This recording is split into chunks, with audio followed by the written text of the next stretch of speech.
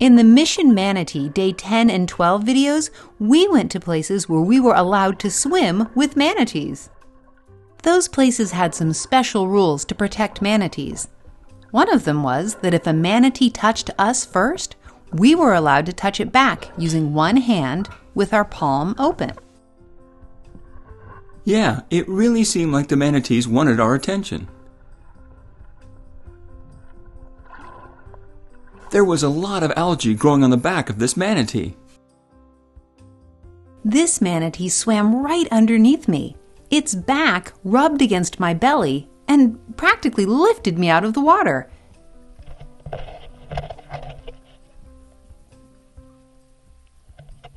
It was incredible. This manatee swam right up to Curtis and touched his camera with its nose. It really seemed like it wanted to have pets. There are some other rules in this area to protect manatees. For example, we had to swim with pool noodles so we would float near the surface of the water, and we were not allowed to wear flippers so that we couldn't accidentally kick manatees with them.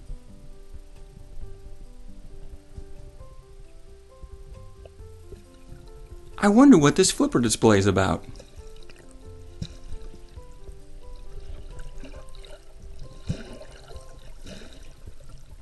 At one point, we were almost completely surrounded by manatees. There seemed to be a manatee on every side, and it was kind of hard to keep track of them all.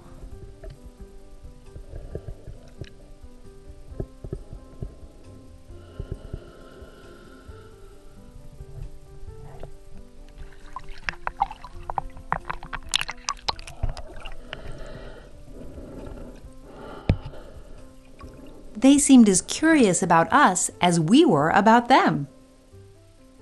The manatee's behavior reminded me of golden retriever puppies. They seemed to want all our attention.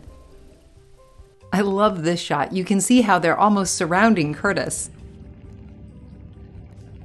I was looking at one manatee, and then I realized there were many manatees all around me. Some of them were behind me, and even below me that you can't see here in the video.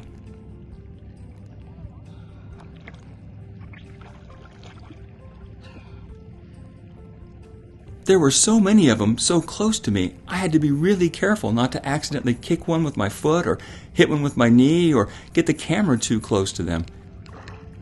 It was incredible.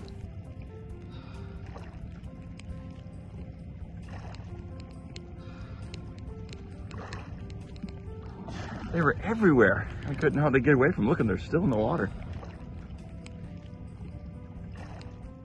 Be sure to like this video, subscribe to our channel, and check us out at Go To Science and join us on our wild and wonderful research adventures.